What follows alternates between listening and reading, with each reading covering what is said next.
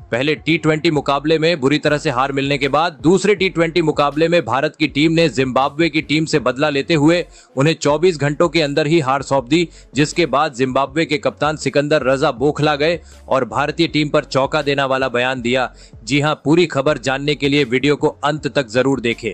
और अगर आप भी टीम इंडिया और जिम्बाब्वे का मैच लाइव फ्री में देखना चाहते हैं तो हमारे टेलीग्राम चैनल को ज्वाइन कर लो। लिंक डिस्क्रिप्शन में है। वहाँ पर आपको फ्री में मैच का लिंक मिल जाएगा। दोस्तों, आज भारत और जिम्बाब्वे के बीच दूसरा टी मुकाबला खेला गया। पहले टी में हर मिलने के बाद आज शुभमन गिल ने टॉस जीतकर पहले बल्लेबाजी करने का फैसला किया। और शुभमन गिल कुछ कमाल नहीं कर पाए। और दूसरे ही ओवर में चार गेंदों में सिर्फ़ दो रन बनाकर चलते बने, लेकिन इसके बाद हमने अभिषेक शर्मा का तूफ़ान देखा। वही अभिषेक शर्मा जो अपने पहले मैच में खाता भी नहीं खोल सके। उन्होंने इस मैच में पिछले मैच का भी कसर नहीं छोड़ा और जिम्बाब्वे के गेंदबाजों की कमर ही तोड़ दी थी। ऋतुराज गायकवाड़ ने भी उनका अच्छा साथ दिया। ऋतुराज सूझबूझ से बल्लेबाजी कर रहे थे तो वही अभिषेक हर ओवर में आक्रामक अंदाज में बल्लेबाजी करते हुए बाउंड्री बटोर रहे थे। जिसके चलते ही अभिषेक ने 200 की स्ट्राइक रेट से खेलते हुए सिर्फ़ सैतालीस गेंदों में अपना शतक पूरा किया। हालाँकि अभिषेक शतक बनाने के बाद अगले गेंद पर आउट हो गए, लेकिन अब तक अभिषेक और गायकवाड़ ने दूसरे विकेट के लिए एक रनों की पार्टनरशिप बना ली थी। इसके बाद जब रिंकू सिंह मैदान में आए तो उन्होंने भी वैसी ही बल्लेबाजी की, जिसके लिए उन्हें जाना जाता है। तबाड़ तोड़ अंदाज में गायकवाड़ और रिंकू ने बल्लेबाजी करते हुए भारत के स्कोर को 20 ओवरों में 234 तक पहुँचने में सफल रहे। जहाँ गायकवाड़ ने सैतालीस गेंदों में 77 रन बनाए तो वही रिंकू ने 22 गेंदों में 48 रन बनाए। इसके बाद जिम्बाब्वे की टीम जब स्कोर को चेस करने उतरे तो मुकेश कुमार ने पहले ही ओवर में इनोसेंट काया को चलता कर भारत को पहली सफलता दिलाई। इसके बाद वेस्ली मधेवीर और ब्रायन बेनेट ने 30 रनों की पार्टनरशिप ज़रूर बना ली थी। लेकिन इसके बाद भारतीय गेंदबाजों ने उन्हें मैच में वापसी करने का कोई मौका ही नहीं दिया और एक के बाद एक विकेट लेते चले गए। सिर्फ़ तिहत्तर के स्कोर पर ही भारत ने उनके छह बल्लेबाजों को पवेलियन भेज दिया था और यहाँ से भारत बड्डे ही आसानी से मैच जीत गई। वही दोस्तों, दूसरे टी मुकाबले में भारतीय टीम से हार मिलने के बाद जब सिकंदर से रजा इस हार का कारण पूछा गया तो रजा ने चौंका देने वाली बात कही। सिकंदर रजा ने इंटरव्यू में बात करते हुए कहा कि, अगर आज हम ये मैच हारे हैं तो इसमें हमारी ही गलती है। भारत को पहले टी ट्वेंटी में एक तरफा अंदाज में हराने के बाद हमें लगा कि हम इस टीम को अगले मुकाबले में भी बढ़े ही आसानी से हरा देंगे, क्योंकि इस टीम में विराट रोहित हार्दिक जैसे बड़े प्लेयर्स नहीं खेल रहे थे। हम कॉन्फिडेंट होने के बजाय ओवर कॉन्फिडेंट हो गए थे और हमने इस टीम को हल्के में ले लिया और वही हमारी गलती थी।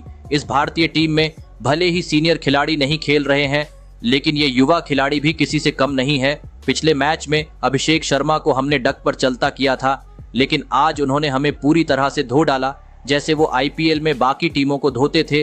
हालाँकि हमारे पास उनका विकेट लेने का मौका आया था, लेकिन आज हमारी फील्डिंग भी बेहद ही घटिया थी और अभिषेक ने इसका अच्छा फ़ायदा उठाकर शतक जड़ दिया।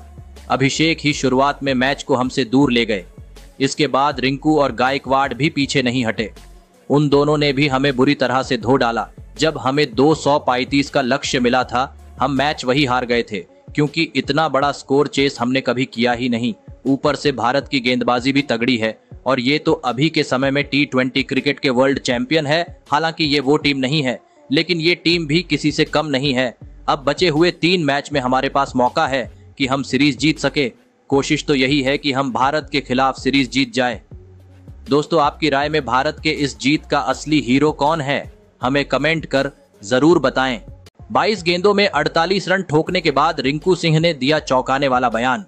जी हाँ, दोस्तों, दूसरे टी मैच में अभिषेक शर्मा और ऋतुराज गायकवाड़ के बाद हमें रिंकू सिंह की भी तूफानी बल्लेबाजी देखने को मिली थी।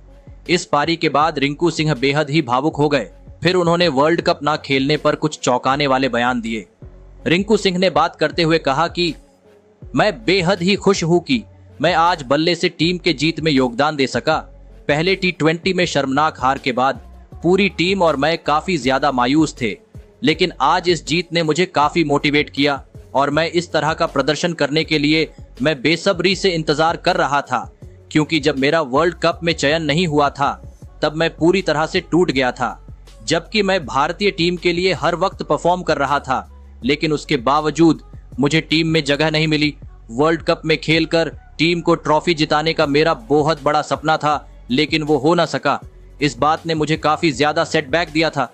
हालाँकि हम वर्ल्ड कप ज़रूर जीत गए, लेकिन मैं भी उस टीम में शामिल होना चाहता था, ताकि मैं भी एक वर्ल्ड चैंपियन कहला सकूँ।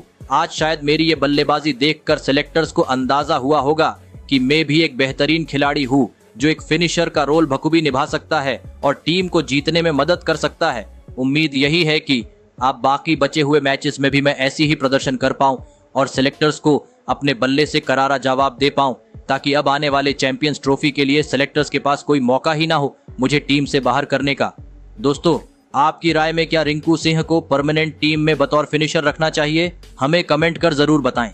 शतक ठोक कर अभिषेक शर्मा ने तोड़ा दिग्गजों का रिकॉर्ड्स तो हैरान रह गए दिग्गज। जी हाँ दोस्तों, दूसरे टी मैच में अभिषेक शर्मा ने तूफानी बल्लेबाजी की, और जिम्बाब्वे के गेंदबाजों को धोते हुए तूफानी शतक जड़ दिया। चौदहवें ओवर में लगातार तीन छक्के जमाते हुए सिर्फ़ छियालीस गेंदों में उन्होंने अपना शतक जमा दिया। हालाँकि शतक जड़ने के बाद ही वो आउट हो गए। इस शतक में उन्होंने सात चौके और आठ छक्के जड़े।